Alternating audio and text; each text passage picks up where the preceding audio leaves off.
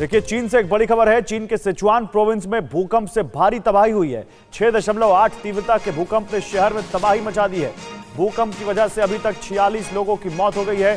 दस हज़ार घरों की बिजली इससे प्रभावित हुई है। तस्वीरें देखिए, कैसे डराने वाली तस्वीरें हैं इस भूकंप की।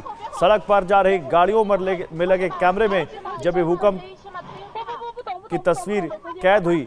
आप देखिए, कैसे ज़मीन हिलने लग गई। इन तस्वीरों में आप देखेंगे।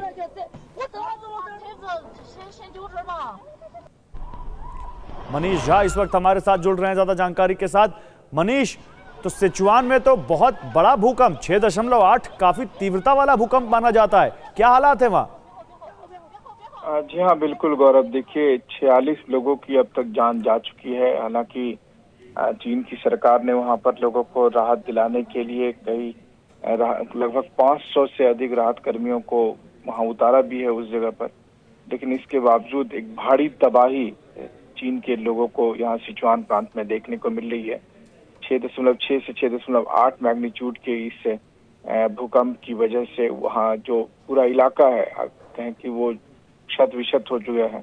बहुत सारी जगहों पर सड़क में रोड ब्लॉक्स हैं, लैंडस्लाइड है, और चूँकि जिस इलाके में एपी था भूकंप का, वहाँ बहुत भयानक सी तबाही है।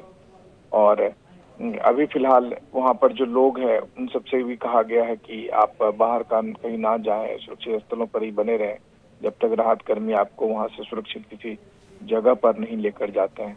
तो निश्चित तौर पर, खास करके सिचुआन प्रांत के उन सभी इलाकों में जहाँ की भूकंप का केंद्र था या भूकंप के केंद्र के करीब के ये इलाके थे, उन सबको अभी फ़िलहाल आप कहें तो तबाही के भीषण दौर से गुजरना पड़ा है।